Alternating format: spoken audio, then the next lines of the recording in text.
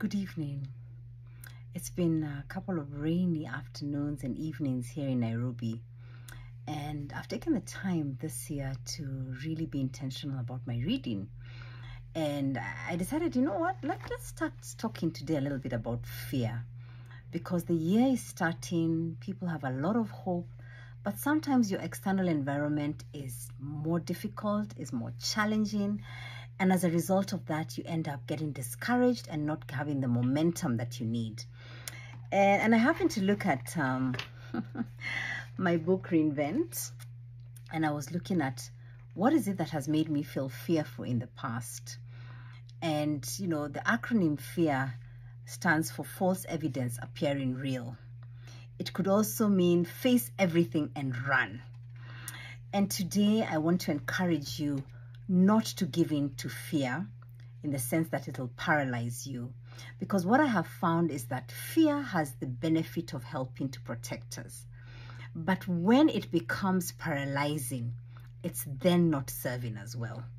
So, what are some of the fears that I have experienced, I have seen our clients experience? Uh, let me just share with you a couple of them, and as you listen to them, determine which one is your chosen fear at the moment fear of failure, fear of the unknown, fear of success, fear of betrayal, fear of looking foolish, hmm. fear of social situations, fear of death, fear of poverty, fear of wealth, fear of ill health, fear of loss, fear of criticism, fear of speaking up, fear of silence, fear of pain, fear of grief and loss, fear of making mistakes, fear of even resolving those mistakes. How about that? Fear of having tough, courageous conversations. That's a big one. I struggled with that for a long time. And a lot of um, leaders struggle with having courageous conversations. And you keep sweeping things under the carpet until it erupts, you know, and explodes in your face.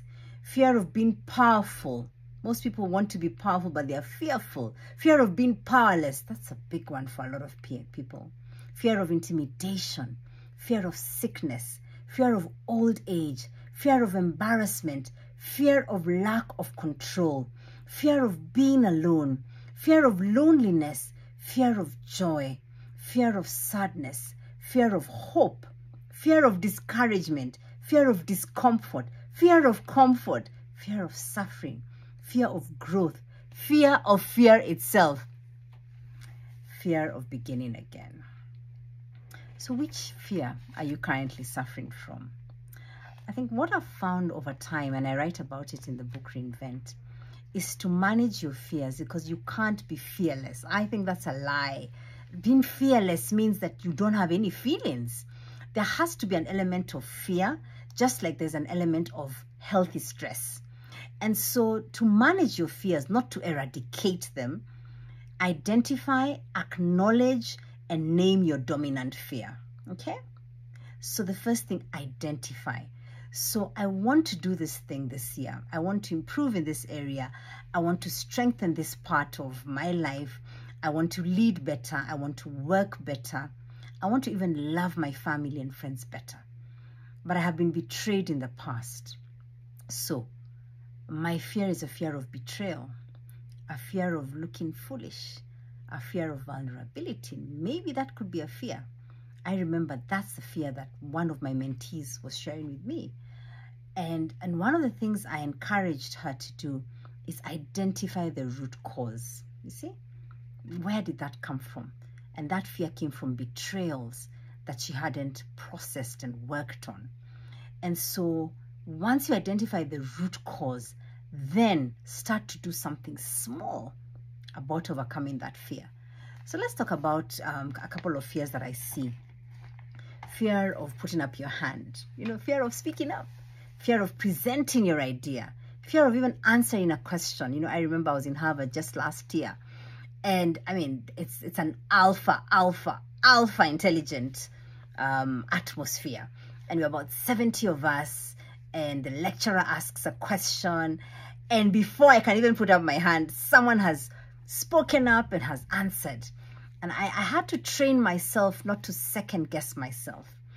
And I realized that that came from the experience of having been humiliated uh, at some point when I said something that didn't come out as well as I would have liked to. So identify the root cause and then start to take baby steps. Yesterday, when we had our LEAP um, webinar for 2024 with 200 leaders, oh, I'm so proud of each of you. One of the things that I said and I was coaching them was don't get into the fallacy of grandiose, big things that you need to do, big steps that you need to take. That's a lie. And that's the lie that makes many of us never attempt to do things. So I want to encourage you, just like the pattern on this kimono I'm wearing, that just a, a, a dot there, a color there, when you look at all of it, it's like Joseph and the Technicolor gold, uh, you know, coat, is that every little piece adds up to create the tapestry. In the same way, that little step you take today to speak up, in the next meeting to say, I'd like to share an idea, in the next meeting to buttress and emphasize someone else's comment and bring in a different perspective. In that other space where you need to put up your hand quickly. In that next webinar where you want to say something and you're waiting to gather the courage.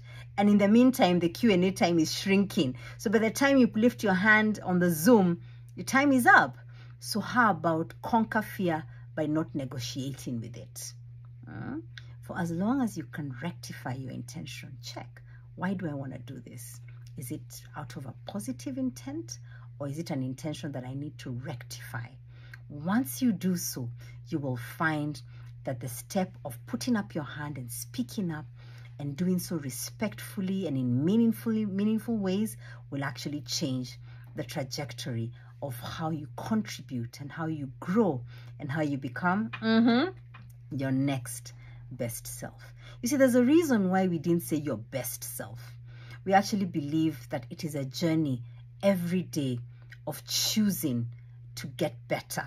And so your next could be what you do in the next minute after watching this video. Your next could be, you know what?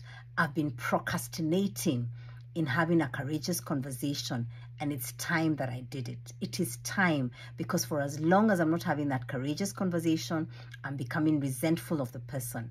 And I dare challenge you, if you're not having those courageous conversations, which will be the subject of my next video, then chances are it's because fear has actually ensured and bound your tongue. So today, choose your fear, find the root cause, and then start to do something about it. Little by little, you look back and realize, oh my goodness, I didn't even know that that fear is no longer an issue. I wish you the very best and I look forward to your feedback. Tell me which is the fear that you are challenged with, struggling with, overcoming, and I'll be excited to see how this video may help you to get even stronger. Thank you.